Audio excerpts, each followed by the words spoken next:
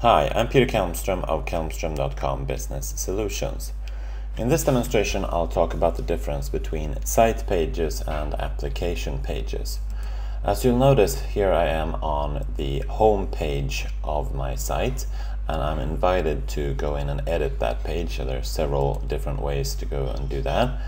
And when I get into that page I can edit and just type right into it. So that means that this is a site page. I can edit it.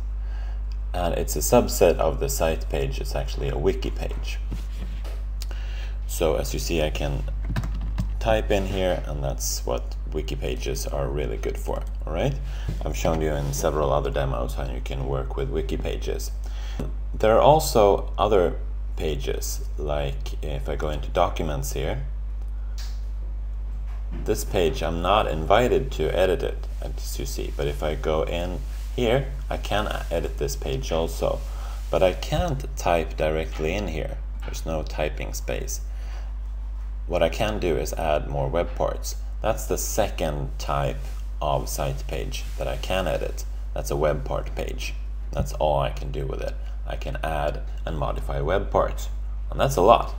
But you can't type directly into it. The third type of page is if I go into site settings. You see I'm at the address where it says underscore layouts. This page I cannot edit. There's no way to edit this in Office 365 at all. On premise you can edit the page, but it's um, lots of work and it's certainly not a no-code solution.